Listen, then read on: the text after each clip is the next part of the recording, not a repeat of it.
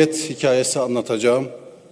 Bu konuşmayı da Kars'ın işsiz gençleri ve ülkemin bütün mülakat mağdurları için yapıyorum. Ve eminim ki bu hadiseyi öğrendikten sonra parlamento çatısı altında bir daha mülakat uygulamasını savunacak tek bir onurlu parlamenter bile kalmayacaktır. Niye bu kadar iddialı söylüyorum?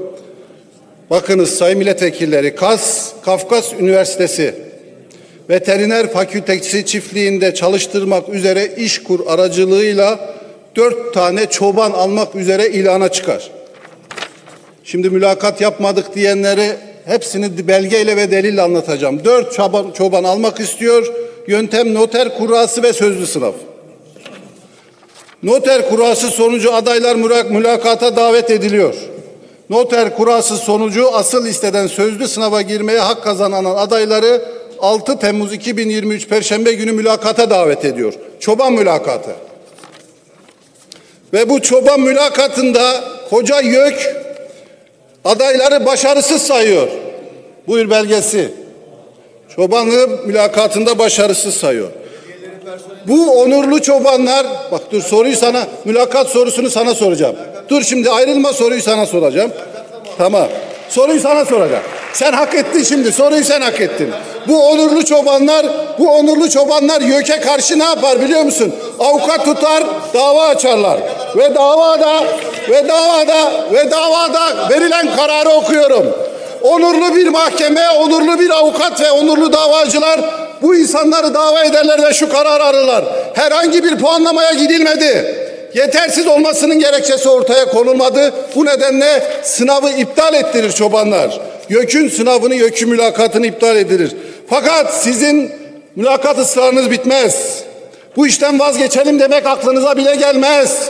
Aradan bir yıl geçer, tekrar mülakat için ilana çıkarlar. Buyur belgesi. Sözlü sınavlarda adayların idaremize karşı açtığı Kars İdare Mahkemesi kararı gereğince mülakata çağırır. Ne zaman? 25.4.2024. Çoban dedikleriniz. Sen Kars'ın gençleriyle bunu yapmayacaktın. Şimdi sana ben o çobanı sorduğum mülakat sorusunu göstereceğim. Ve bak o mülakatın sonucu ne oldu biliyor musunuz? Sürekli işçi, çoban alımı, sözlü mülakat sonuçları başarısız sayılır. Hani siz, hani siz görevin gerektiği haller dışında mülakat yapmayacaktınız? Çobana mülakat yapmaya utanmadınız. Şimdi sana soruyorum. Mülakattaki soruya doğru cevap ver. Seni, seni tebrik edeceğim. Var mısın? Sana hitap ediyorum. Sen bu soruyu bilirsen Kars'ta çoban olabilirsin.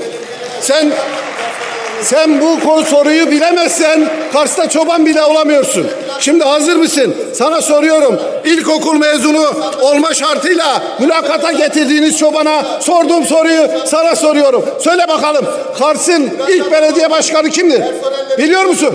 Söyle biliyor musun? Bilmiyorsun değil mi? İşte bu milletvekili Kars'a gelse çoban bile olamaz. Bu sistemle bunları çoban bile yapmıyorlar.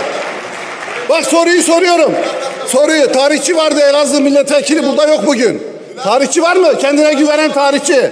AK Parti sıralarında tarihçi var mı kendine güvenen? Tarih sorusu soracağım. Çobana mülakatta sorduğunuz tarih sorusu. Sen mi? Sana, sana soruyorum. Sana soruyorum o zaman cevap ver. Yazdı.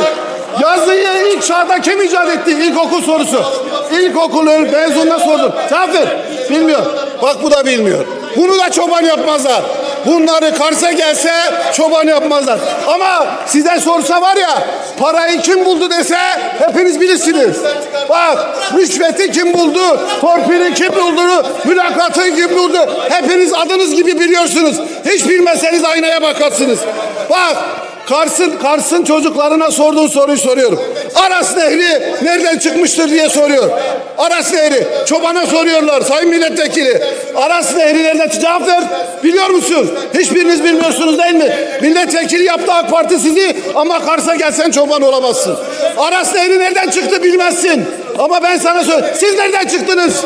Bu kadar rüşvetçi, bu kadar yolsuzluk yapan, bu kadar bu kadar pudra şekerci nereden çıktınız? Hani siz Erdemliler hareketiydiniz?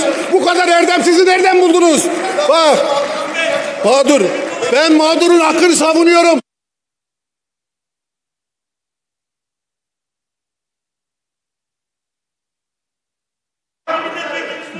Buyurun top, top tamamlayın Sayın Cevap vereceksin. Bak sen bak bak senin grup başkan vekilinin kolunda 2 milyonluk saatle geziyor. Sordular neyle aldın? Dedi ki helal paramdan aldın. Ya sen helal parandan her gün trilyonluk takı takıyorsun da bu memlekete, bu memleketin garibanına çoban olmak için niye torpil arıyorsun? Cevap ver. Gel buraya cevap vereceksin. Bak sen sen milleti ekmeğe muhtaç bırakınca sosyete kulüplerinde sen ıstakoz partileri yapıyorsun da memleketin gariban çocuğunu ekmeğe muhtaç bırakıyorsun. Bunların hesabını hepsini size soracağım. Dört yıl boyunca süreceğim. Kars'ın çocuklarının hakkını yemek neymiş hepinize göstereceğim. Genel kurulu saygıyla selamlıyorum.